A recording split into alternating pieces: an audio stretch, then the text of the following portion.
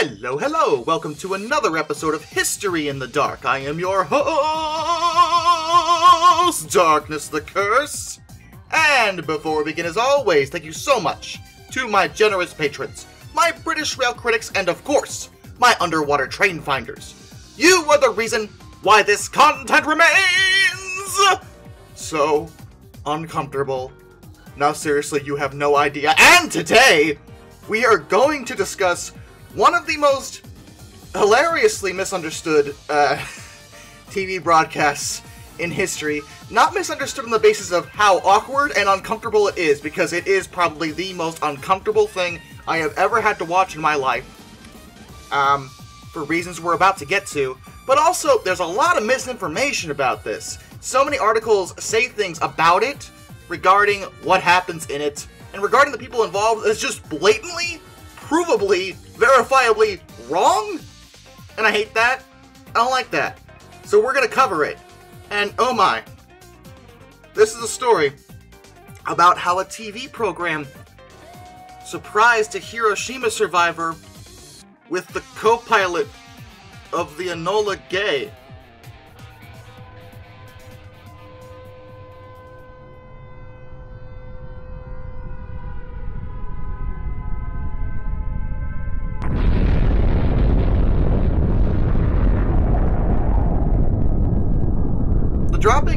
Atomic bombs is one of the most pivotal moments in the history of humanity as a whole, not even just warfare.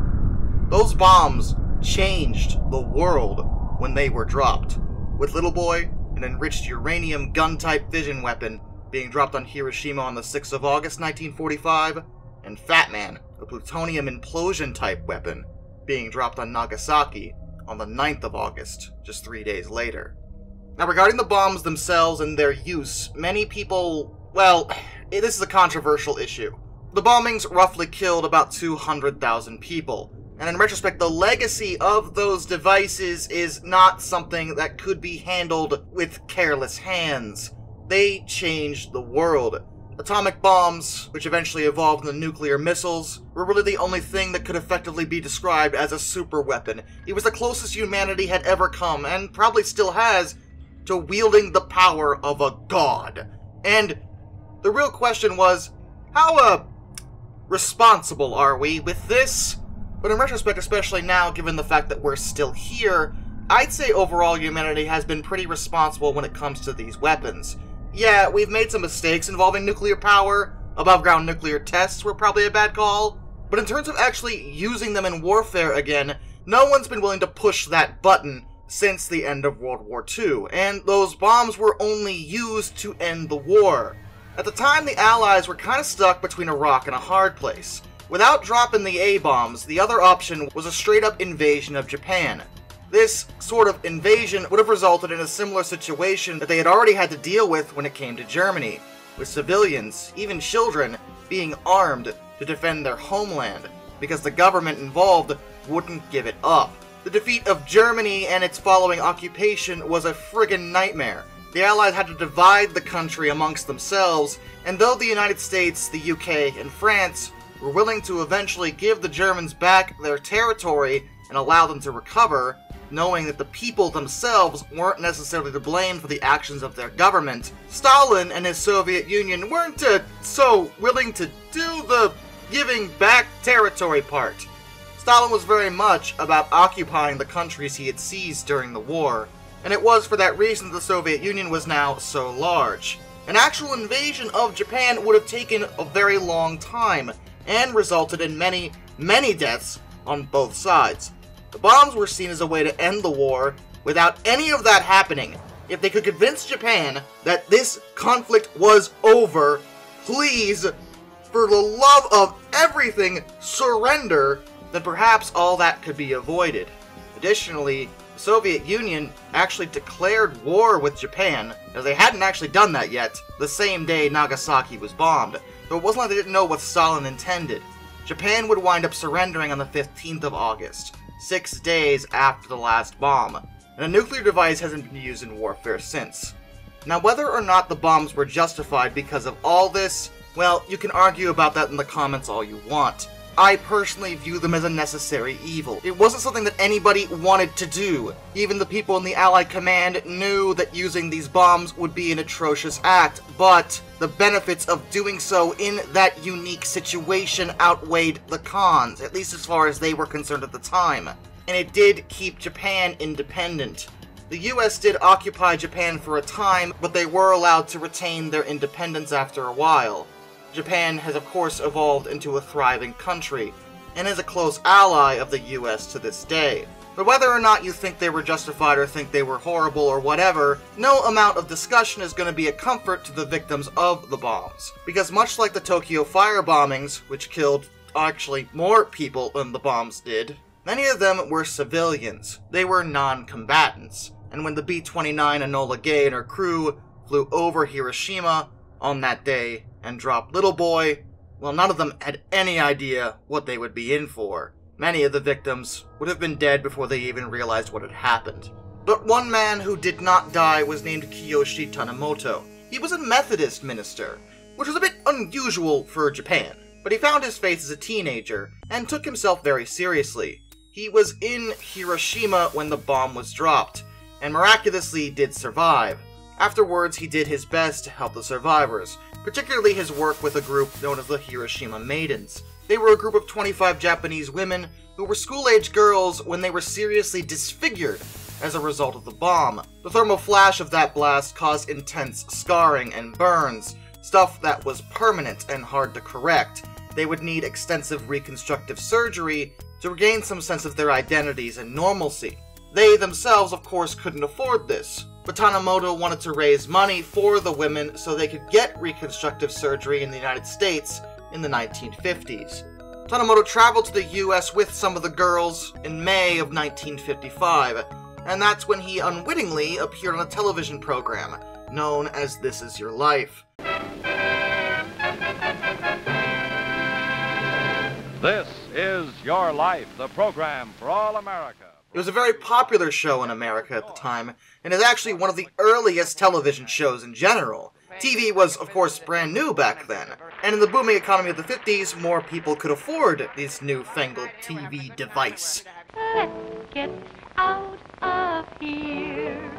This Is Your Life actually started on radio for NBC, and ran in that format from 1958 to 1952 but then it was adapted for television and ran from 1952 to 1961. A pretty decent life cycle for a show, and it's probably one of the earliest examples of something that could be called reality TV. It isn't like what we would think of when it comes to modern reality TV shows. Somebody want a hundred dollars? Thank you! But it's probably closer to something like those gimmick talk shows, like Maury, or even Dr. Phil, where they're utilizing the stories of real people in order to entertain others, or perhaps exact sympathy. Dr. Phil's thing is generally dealing with troubled people and talking about their various issues when it comes to behavior or addiction or things like that. Funny Steve. Oh. And someone like Maury is, well, a little crazier. You are not!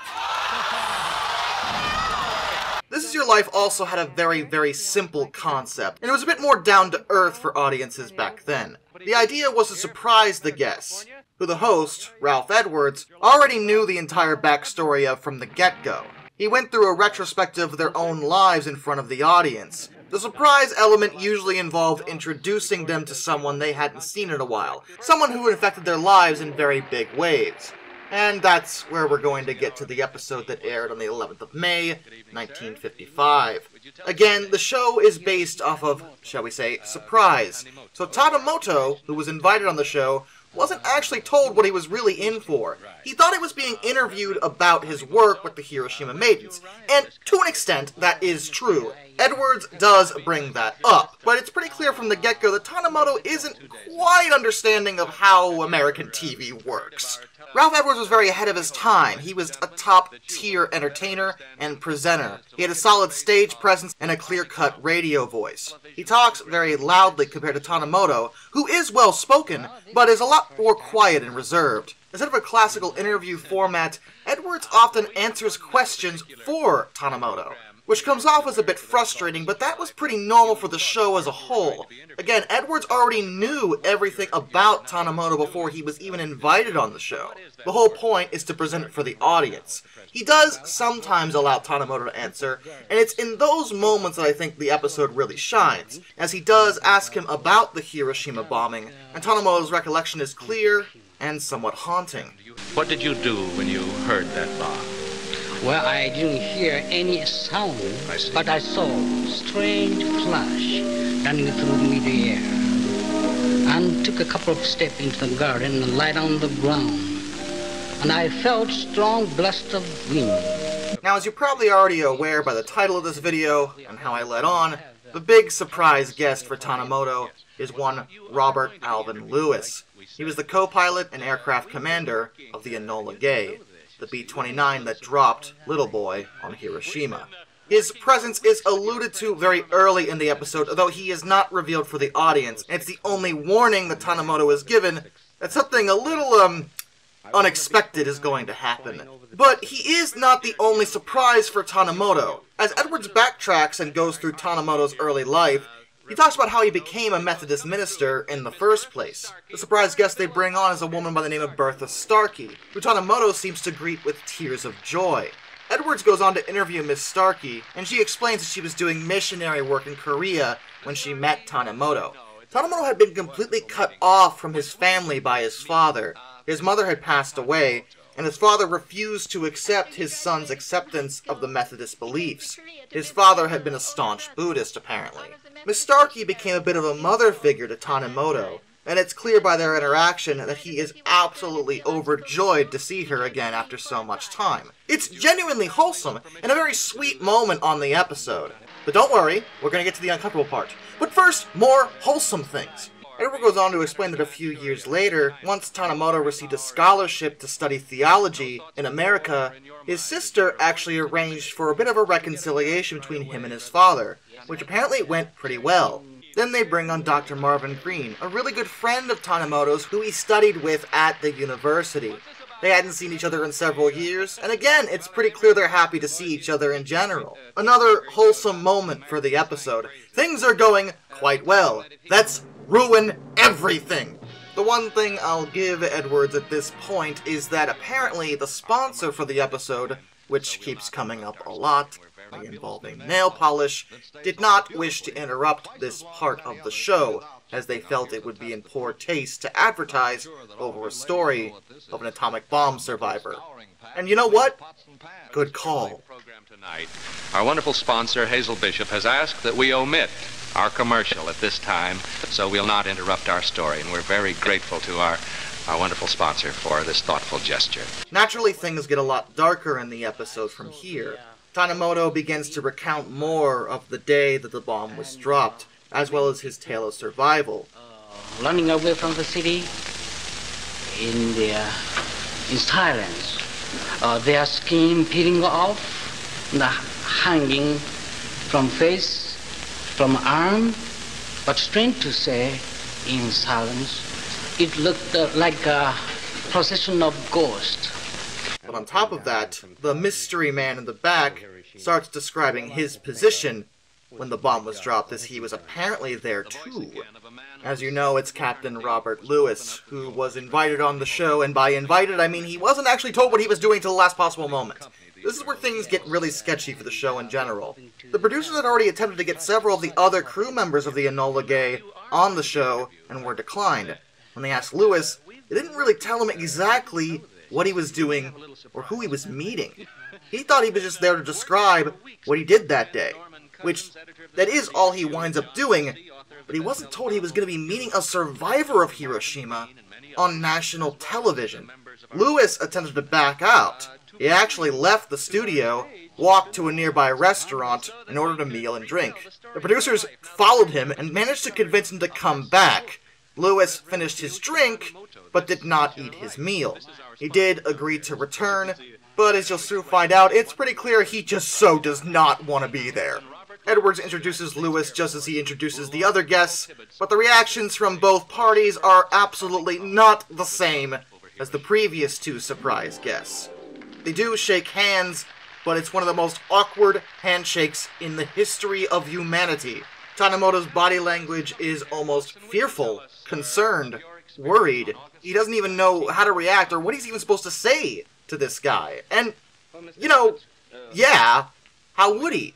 Lewis, on the other hand, is equally uncomfortable. He stands politely with his hands behind his back, but he is profusely sweating and delivers his recounting of the day the bomb was dropped in a solid but clearly stunted and awkward way. Kokura. About an hour before we uh, hit the coastline of Japan, we were notified that Hiroshima was clear. Therefore, Hiroshima became our target. Putting these two in front of a TV camera could be described as somewhat questionable. At best, it's one of the earliest moments in television history where producers have taken advantage of people's emotions to drive up viewership. It's a thing that TV still does today! So give further props to Mr. Ralph Edwards, who was clearly ahead of the time when it comes to making horrible decisions in the name of high ratings. But the one thing I do want to note here is that as Lewis recounts his story, awkwardly, nervously, clearly showing visible remorse, Tanimoto's expression seems to change. He relaxes a bit, and almost seems to express a bit of empathy for Lewis's position. When Lewis finishes his story, he wants to leave the stage as quickly as possible. He shakes hands with Tanimoto one more time. Tanimoto actually claps his hand with both of his hands, and seems to linger on it a bit longer, as if he wishes to say something further. Their interaction lasts only a couple of minutes, but as I have repeatedly pointed out, it is one of the most uncomfortable two minutes in the history of everything. You entered something in your log at that time. As I said before, Mr. Edwards, I wrote down later. My God, what have we done? Edwards tries to recover Tanimoto's mood by hitting him with one more last minute surprise guest, which turns out to be his wife, who he just left behind in Japan. She's brought their children with her as well, and Tanimoto seems very happy to see her, of course. The rest of the episode is actually discussing what Tanimoto thought he was there for, which was the Hiroshima Maidens. All the guests are asked to come back out after a few more minutes, and another blasted nail polish ad, thanks for that, and that included Lewis. His demeanor seems to be a bit more calm at this point, though he is not asked to speak again. And this is the point when Edwards actually turns to the audience and tells them how they can donate to help pay for the surgeries for the Hiroshima Maidens. He also presents Tanimoto and his family several gifts from the studio, including a Bell and Howell movie camera, which would have been a pretty nice gift in the 50s. Lewis steps forward and presents the first contribution on behalf of the crew of the Enola Gay, as well as his company and his family. Additionally, Edwards gives Tanimoto two more checks from the show's sponsors, each totaling $500. That's about $5,500 in today's money. So Tanimoto would have left the studio with over $11,000 to help pay for the surgery of the Hiroshima Maidens. So the awkwardness did kind of pay off in the end. Plus, I'm sure there were plenty of other donations sent from among the viewers of that episode as well. Allegedly, the check that Lewis gives was actually just a slip of paper that he was instructed by the producers to give in order to make him not look bad in the public eye. I can't confirm whether that's true or not, but that's what some sources say. Additionally, Tanimoto's eldest daughter had a bit of an interesting take on the events of that recording. According to her, when she first saw Lewis, she actually wanted to hate him. He was supposed to be their enemy. But after seeing his remorse, she began to actually empathize with him. That was one of the events that turned her into a world-class peace activist. She's done tremendous work in that field, and continues to do so to this day. As for what happened after the episode directly, well, some sources say that Lewis was drunk, but that isn't true at all. He only had that one drink. Though some sources say right after the episode he went straight to the bar. And again, I can't confirm that, but even if he did, I really don't blame him. I would have done the same thing! Because wow! Lewis apparently got into some trouble later with his superiors in the military, as they felt he might have, you know, kinda made the mission look like it had been a heinous act and not something that was necessary to end World War II. Now, on one hand, yeah, but on the other hand, look, guys, it is totally possible, hear me out on this, it's possible to say that the atomic bombs were a bad, horrible thing that occurred but still concede that given the alternative that the world was presented with at that time, it was also the best option. I would love to sit here and tell you that I really genuinely believed that not dropping the bombs was a better idea, because Lord knows the last thing I ever want to have to say is, yes, nuke them, that's a great idea. Because, no, of course I don't want to say that. But, in that unique circumstance, when the only alternate course of action was doing something that would result in far more death and destruction, it really was the right call. That doesn't mean Lewis shouldn't be remorseful, of course. As many soldiers often are after a conflict, post traumatic stress disorder has only in recent years been more understood. Lewis and the rest of the crew of the Enola Gay, as well as the crew of Bockscar, the one that dropped Fat Man on Nagasaki, had a tremendous burden to bear. All of them maintained that dropping the bombs was necessary. That doesn't mean they necessarily wanted to do it. That doesn't mean they had to like the fact that it had to happen. Lewis is also often misquoted. He does say on the show that one of the things he wrote down in his log during the flight was, My God, what have we done? But this is only half of the quote. The rest of the quote says, Have we ended the war in one bombing? Pointing out the sheer power that the bombs had, and the fact that it was only one plane that dropped a bomb. Prior to that point, bombing runs took place with multiple bombers, dropping thousands of tons of ordnance. The Tokyo fire bombings were just like that, but with atomic bombs, you only needed one. And the thought of that is rather alarming. Lewis would eventually retire from his military career and actually became a self taught stone sculptor. One of the sculptures was actually thematically related to the bombing of Hiroshima. He also wound up selling his manuscript log from the mission in 1971 to support his family. Tanimoto, for his part, according to his daughter, actually didn't regret his time spent on the show. Awkward as it was, it had paid off, for one thing. He made a ton of money for the girls he was trying to help, and he seemed to have some level of sympathy for Lewis's position. Apparently, the two actually stayed in contact and wrote letters to each other over the years. It's not known exactly what they had said to each other, but since their interactions lasted for so long, it seems to imply they may have developed a bit of a distant friendship, which is somewhat wholesome, all things considered. Tanimoto's activities were often in the public eye in order to garner support, but he actually gained a bit of a reputation as a publicity seeker, and that attracted the attention of the US and Japanese authorities, who viewed him as an anti nuke troublemaker. Ah, Cold War era politics. You will never cease to amaze me. He would pass away on September 28, 1986, at the age of 77, and Lewis would die June 18, 1983, at the age of 65. And as for Ralph Edwards, the chipper host of this awkward, awkward situation, well, he would go on to have a long and successful career, and live a far longer than both of his guests that day, passing away November 16, 2005, at the age of 92. As for the episode itself, well, like I said, there's a ton, a ton, a stupid amount of misinformation about it. One source I read even claimed that Lewis went on to commit suicide after the episode, which is absolutely absurd. That did not happen, and many paint him as a drunk, awkwardly stammering through his appearance. He wasn't drunk that day. He may have gotten drunk after, but he wasn't drunk on the show. He was visibly nervous and upset that he was being put through this, because the producers had lied to him. They hadn't told him what was going on until the last minute. Tanimoto didn't know either. That was the whole show's theme surprise.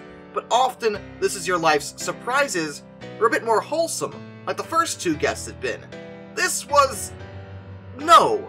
No, no, no, no, no. Just because it worked out for the girls, and Tanimoto gained a lot of money from it, doesn't make what the producers of the show did any less kind of, frankly, despicable. They took advantage of one of the most horrific elements of war by surprising a victim of an atomic bomb with one of the men who had dropped the thing. That's not okay for either side here. Lewis did what he did because he had to. Those were his orders, and at the time it was the right call. That doesn't mean he doesn't have guilt over it. Tanimoto had suffered the effects of the bomb. Was the bomb necessary? Yes, but the effects were strong and horrible, and people suffered, including him. That's why he was even in the US at the time. And the producers of This Is Your Life is like, hey, how about we put these two together? What zaniness will occur, viewers? It's just gross. It's gross. It's really, really, really gross. Entertaining TV? I mean, yeah, look at modern reality TV. TV shows still do this kind of nonsense all the time, but this is one of the earliest examples of it that I've ever seen. Regardless of what any of you may think about the bombs, whether you think they were justified, whether you think they weren't, whether you're somewhere in the middle, let's just all agree on this at the end of the day. This idea was terrible. This is why I don't watch TV even now, and I don't think we want to be put in a position where anyone feels the need to use nuclear weapons ever again. We shouldn't be at the point where that's the best case scenario. And with that, a special thank you to all my underwater train finders Thomas Ward, some Sumdu267, Orange Glass, Royal Hudson 2860, Lord Hoth 444, Benjamin Owens, Panzer Kitsune 131 232, Mr. Black Rose, Master of None, Josh Johnson, Metal for Life Guy, Matthew Gavin, Arthur Roy, DM Tribal Typhoon, Tommy Rossini, Lord Captain Von Thrust III, Joshua Long, Alaric Jaspers, Brian, Jack Carson's Railroad Videos, Major Klutz, Hayden DeGrow, Ohio Trucker 1, and Ty Hammonds Jr. Till next time, this is Darkness, and a bid you all a fond farewell.